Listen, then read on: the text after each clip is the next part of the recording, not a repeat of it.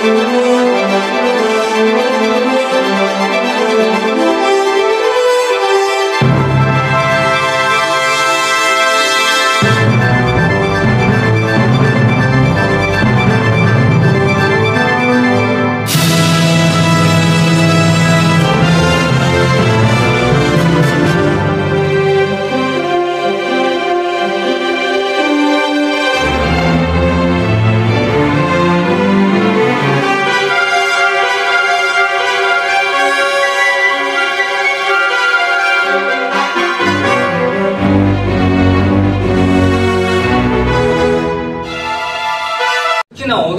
접착제를 사용하기 때문에 더 긴장하셔야 돼요.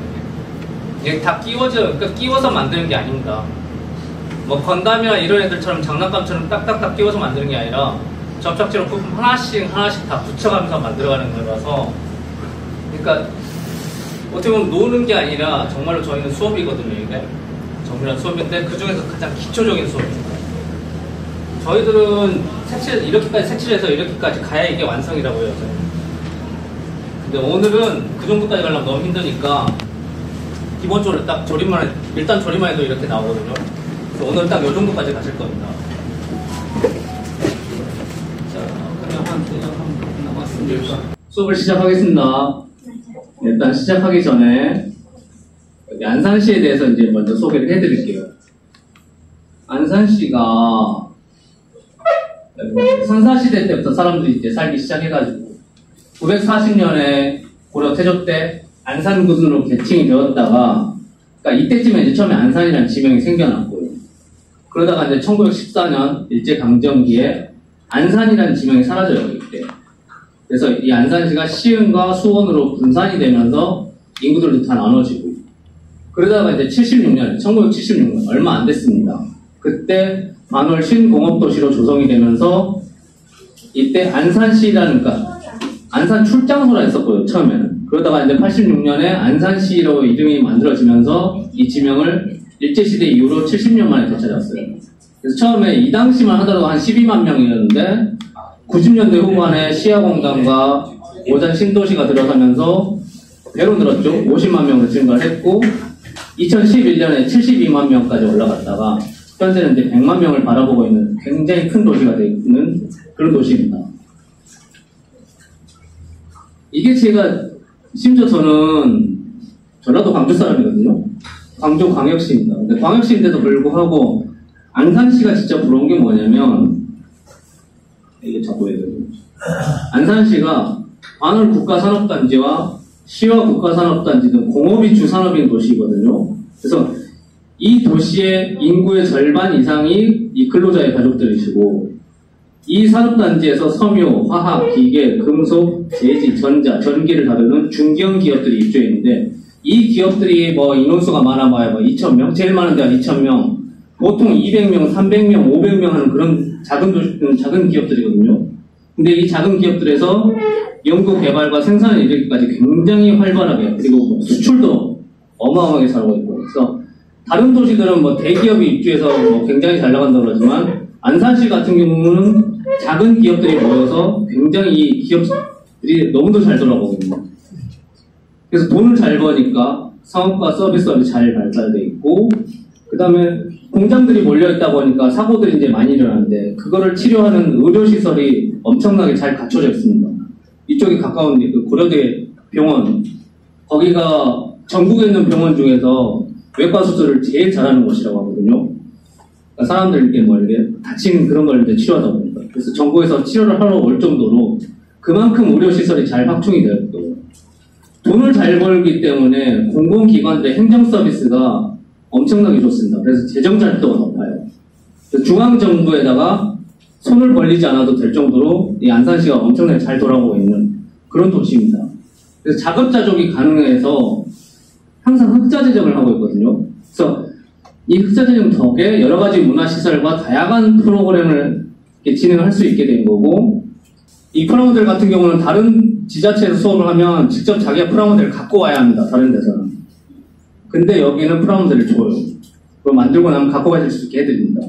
그러니까 그만큼 흑자 재정을 하고 있는 재정 자립도가 높은 안산시이기 때문에 이게 가능한 겁니다. 자, 오늘은 이제 지금 여러분들 앞에 있는 게 이제 포니인데 포니가 지금 현재 이 박물관 인사이드카 기획 전시 내년 6월까지 하는데 1층에 포니가 전시가 되어 있습니다. 그리고 오늘은 아니고 이제 다음 주에 할 거지만 3차, 2차는 지금 2층에 전시가 돼 있어요, 이게. 그래서 현재 지금 이 두 가지로, 이 프라모델 두 가지를 가지고서 지금 저희가 수업을 진행하게 되었고요. 이 자동차들이 안산에 있는 그 작은 중소기업에서 만들어진 그 부품들로 조립이 돼가지고 전 세계로 수출이 됐던 그런 자동차들이라서 그래서 이렇게 이제 이 폰이라는 프라모델을 여러분들께 만들게 된 것입니다. 자 그럼 이제 저희들 소개를 할게요. 일단 접니다. 네, 자꾸 이런데 저는 이제 2009년부터 2022년까지 현대, 신세계, 롯데, AK 플라자, 현대 아이파크, 백화점 문화센터, 청소년 수련관, 청소년 뭐 이렇게 체육센터 이런 데서 이 프라모델 수업을 이제 담당을 해왔고요. 지금까지 한 15년 동안. 그리고 현재는 정화예술대학교에서 평생교육원 수업을 출강하고 있습니다.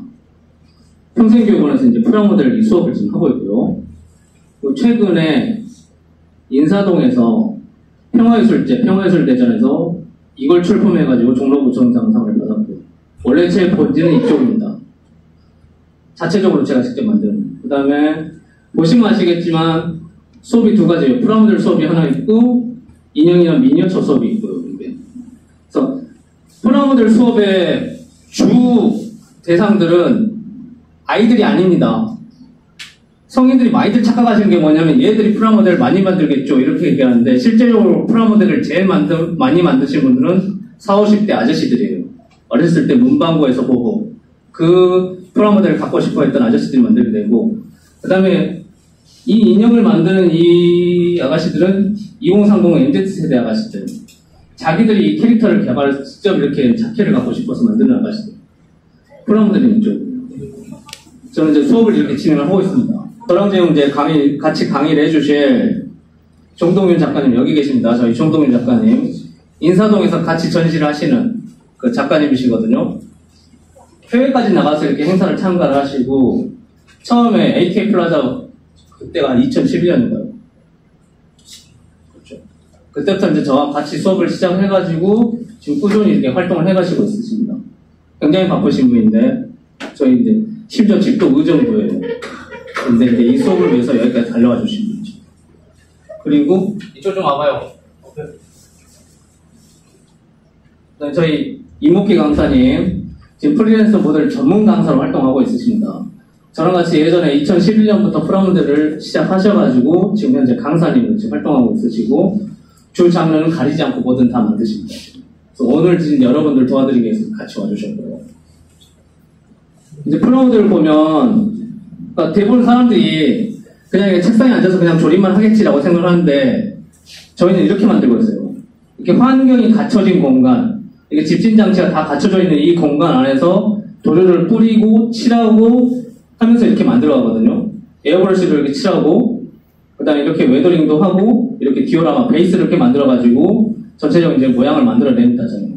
그러니까 이런 식으로 지금 수업을 하고 있기 때문에 만약에 나중에 이제 프라모델 수업을 뭐 저희가 진지하게 배우고 싶습니다. 그럼 연락을 주시면 됩니다. 그럼 저희가 어디서 어떻게 하는지 다 알려드리니까요. 그리고 여기에 이제 오늘 이제 못 오셨지만 저희 한국모형협회 저희 강신금 회장님, 강신금 회장님이 지금 운영하고 계시는 그 성남시 분당구 정자동에 운영, 운영하고 있는 키맨 모형 아카데미거든요. 매주 셋째 주마다 이제 금요일마다 이제 정기 모임 하시고 비정규로 이렇게 무료 강좌를 해주시고 있어요.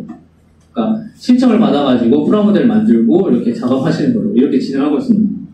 그리고 저는 이제 이렇게 지금 수업을 하고 있는데 분위기가 많이 다를 거예요. 보면 여기 순전히 다 남자고요. 이쪽 보시는, 보시는 대로 여기 남자 한 명 있습니다. 그러니까 저희 수업은 이제 주로 이제 여자분들이 많이 오시기 때문에 여자분들이 무슨 프라모델이냐 이런 소리를 하실 건데 요즘에 여자분들이 이렇게 작은 미니어처 모형, 오해머 같은 거 그런 것도 시작해서 그 다음에 인형, 피규어, 프라모델까지 다 합니다 요즘에. 근데 왜 안 보이는 거냐면 남자들이 많은데 여자분들 절대 안 가세요. 이걸 여자분들 다 아실 거예요. 근데 저희 수업은 제가 분위기를 이렇게 바꿔놨기 때문에 본인들이 와서 이렇게 직접 하고 있거든요. 알아서 칠하고, 알아서 만들고, 알아서 이렇게 다 하고 있습니다. 그러니까 분위기가 달라요. 그래서 만약에 정말 프라모델 한번 배우고 싶습니다. 아니면 저희 뭐 이렇게 아는 분들에게 소개를 해드리고 싶습니다. 그러면 연락을 주시면 됩니다. 제가 지금 정화예술대학교, 명동역에 있는 정화예술대학교에서 이제 수업을 진행하고 있고, 제가 또 이제 공방 여기서 이제 개인 레슨도 하고 있습니다. 그러니까 이걸 보시면서 나중에 이제 연락을 주시면 돼요. 자, 그럼 포니, 오늘 들어갈 이제 포니를 이제 소개해 드릴 텐데, 어, 전반적인 건 이제 대부분 다 잘 아실 거죠. 워낙 요즘 이제 많이 유명해졌으니까. 그러니까 74년에 데뷔를 해가지고, 그렇게 해서 이제 현재 2차가 이제 4도어 이제 세단, 그 다음에 이제 여기 1층에 전시된 포니 픽업, 그 다음에 포니 웨건, 그 다음에 해치백, 3도어 해치백까지 여러 가지가 있었고, 76년에 이제 수출이 되기 시작해서 그 이후로 이제 포니 2, 포니 엑셀, 그 뒤로 그 다음에 엑센트, 이런 식으로 이제 이어지게 된 최초 우리나라의 자동차. 그러니까 얘가 나오게 된 이유가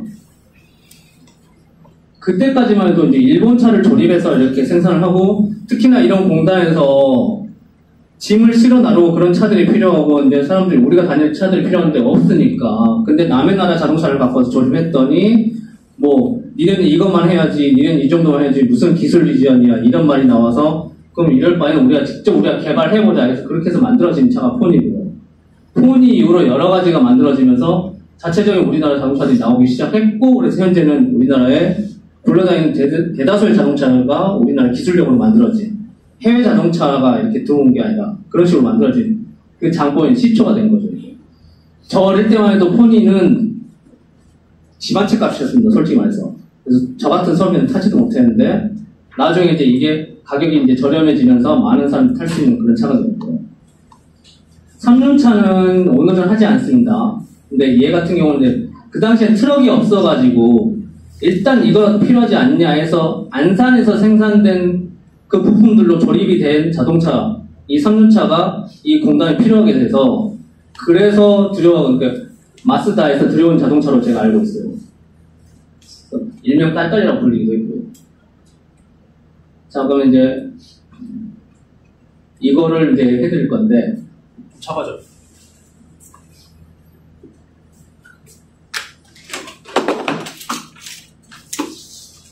공구 쓰는 방법에 대해서 알려드릴 테니까요.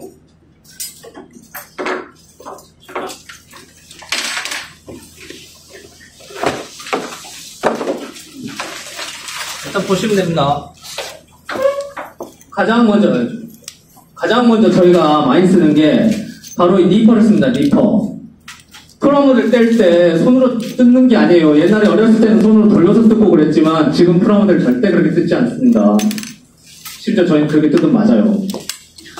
뜯을 때는 딱 대고서, 이 부품 이렇게 됐다 그러면 딱 대고서 자르고, 자르고, 자르고 이렇게 잘라야 하는데 리퍼 쓰는 거 보면은 이렇게 쓰시는 분들 있어요 이렇게. 이렇게 쓰시는 분들이 있어요 이거. 이거 틀린 방법입니다. 딱 내 손 안에 들어오게. 손 안에 딱 들어오게 이렇게 이렇게 잡아주셔야 합니다. 그리고 날이 한쪽에만 있어요 외날이어서 반대쪽으로 백날 잘라봐야 흠집이 난쓴다 그러니까 딱 대고서 이렇게 잘라주셔야 돼요 이렇게 그렇게 잘라주시면 됩니다 그리고 자르고 난 다음에 칼이 있어요. 아트 나이프. 근데 이걸 쓸 때 보면은 집에 쓰는 문구용 칼은 이렇게 잡잖아요. 이렇게. 이렇게 잡아서 이렇게 쓰는데 얘는 연필 잡듯이 이렇게 쥐고서요.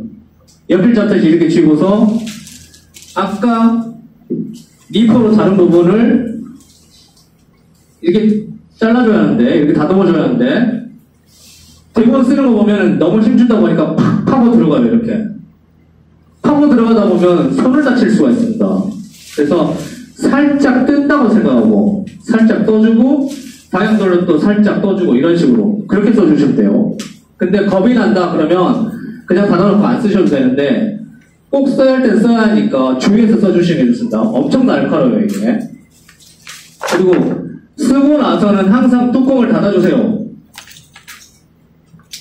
뚜껑을 닫아주지 않으면 나중에 손에 베이거나 다칠 수가 있습니다. 그럼 쓸 때는 뒤에다 뽑아놓고 이렇게 쓰시고 이렇게 이렇게 쓰시고 이래야 뚜껑을 잃어버리지 않습니다. 대부분 아트나이프 보면은 뚜껑을 잃어버리신 분들이 많아요, 이게. 이거 제가 주의를 해드릴게요. 그 다음에 핀셋. 핀셋 같은 경우는 이제 그렇게 크게 어렵진 않은데, 작은 부품들이 있습니다. 그걸 잡을 때 딱 잡고서 위치에서 딱 잡고 이렇게 해주셔야 하는데, 하다 보면 부품이 팅 하고 날아가요, 얘들이. 이렇게 막 날아가요. 못 찾아요, 이럴 때는. 그러니까 할 때 최대한 내 몸을 안쪽에 딱 붙여놓고,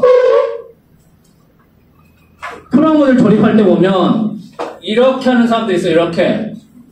이렇게 만드는 사람도 있어요. 이거 굉장히 건방지게 만드는 겁니다. 우리 공부하는 거하고 똑같이 정자세로 앉아서 딱 제대로, 딱 책상 앞에 딱 앉아서 그렇게 만들어 주셔야 돼요. 그리고 사포. 요즘 이제 이런 스틱 사포가 나오거든요. 네일 아트 보신 분들 있으실 거예요. 네일 아트 한, 거기서 쓰는 사포하고 똑같은데, 검지와 엄지를 끝으로 잡고, 가운데 손을 이렇게 살짝 눌러서, 이렇게 갈아주시면 돼요. 이런 식으로 이렇게. 아까 아트나이프로 다듬고 나서 이제 그 부분을 이렇게 다듬어 주시면 되는데, 내가 만약 이 끝으로 다듬고 싶다. 그러면 끝을 잡고 이렇게 다듬어 주시면 된다. 근데 할 때 보면 이렇게 하는 사람도 있어요. 이런 식으로 이렇게 하는 분들 있어요. 이렇게 힘을 여기다 주면서 여기를 밟는데 이게 좋은 방법이 아닙니다. 힘 주는데 붙이면서 제대로 해주셔야 하거든요. 이걸 궁금하시면 내일 아트 하신 분들한테 다시 배우시면 돼요.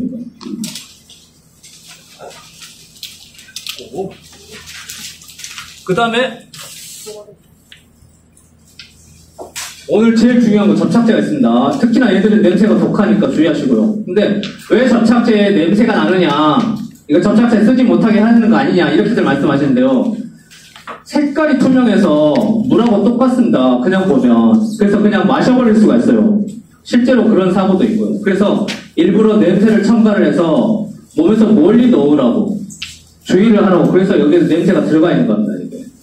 원래는 이게 냄새가 들어가 있지 않은데 저희가 첨가, 그러니까 생산 과정에서 첨가제가 들어가서 냄새가 나게 돼 있거든요. 이게. 그래서 그렇지 않고 그냥 하다가 무심결에 물하고 혼동해서 마셔버리는 경우도 있어요. 실제로 저희도 그런 사고가 있었습니다. 그래서 접착제 쓸 때 최대한 조심해 쓰시고 하나는 끝에가 뾰족해요. 이 접착제 같은 경우 끝에가 뾰족합니다. 근데 다른 하나는 끝에가 부채처럼 넓어요, 이게. 그러니까 이런 접착제는 발라서 붙이는 접착제고, 끝에가 뾰족한 접착제 같은 경우는 부품과 부품을 겨우 조립해서 맞춰놨어요, 이게. 맞춰놨는데, 나중에 발라서 하려고 보니까 이게 밀리고 밀리고 이러다 보니까, 그러다가 주변을 막 지저분해지니까, 잘 안 붙고 이러니까. 그래서, 이런, 이렇게. 이런 접착제 같은 경우는 잡아놓고, 그 사이에다 툭 찍어주면 주가 쭉 타고 들어갑니다. 그러니까 아크릴 접착제와 같은 원리예요. 그래서 이 접착제 두 가지를 상황에 따라서 이제 혼용을 하면서 작업을 하시면 됩니다. 일단 이제 만들어 보시면 알게 될 거예요. 이게. 이제 접착제까지 설명이 다 끝났으니까 이제 시작할 건데요. 일단 폰이 들어가기 앞서서 부품이 지금 이렇게 다 있는지 체크를 해보셔야 하거든요. 일단 박스를 지금 여세요, 전부 다.